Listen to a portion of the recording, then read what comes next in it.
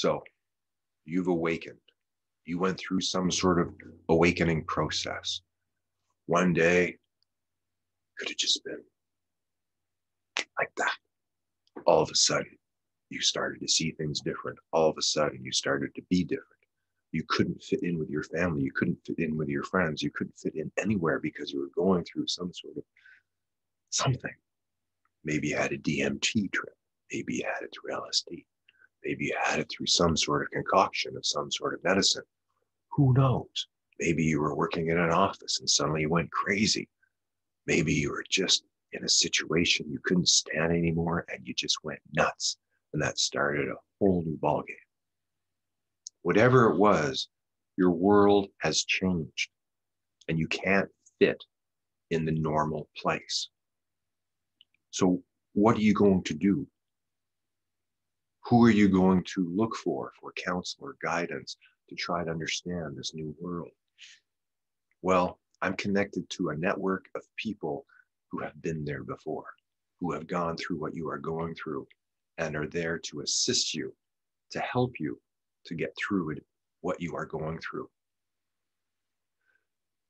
Stabilization is important to get to a place where you can feel safe and you can start to deal with these energies and what is occurring to you in a way that's in alignment with the use of breath and the use of food and the use of exercise and the use of nature and the use of music and the use of pleasure and the use of life and the use of money and the use of time.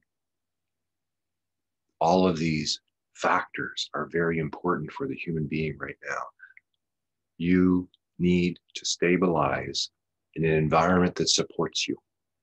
So, part of your process is looking for that context, looking for those people, looking for the place where you can actually be yourself and find out who you are. So, what this is, is the beginning of a process where you will go through a series of steps where here we are at step one at the start.